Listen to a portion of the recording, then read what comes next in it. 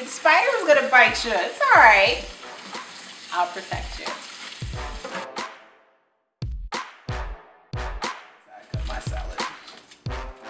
All right, so you want to pretty much start off with romaine lettuce and cut it up. Um, I love my knife. It cuts up everything super small. So you start off with the romaine lettuce, you get everything, put it in the big old bowl.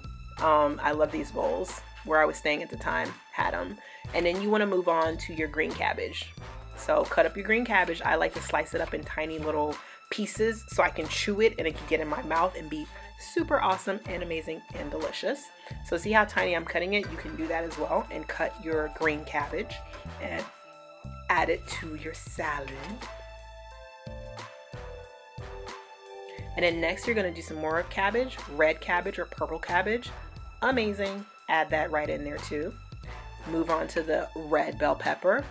Then you cut up your pear and slice that up because that's delicious as well. Um, and it really adds a pretty like design to it as well. I love pears, especially when they're juicy. So you want to go ahead, mix everything up together. I've added some carrots in there as well. So you have your green cabbage, your purple cabbage, carrots. Um, that was a silly face. Move it over to where you're going to store it and look at the pretty pears.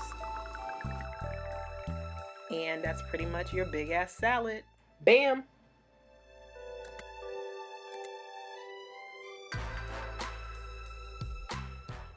So come on over and join the party. Follow me on Instagram, Snapchat, and of course, check out the website for amazing lifestyle tools, tips, and strategies.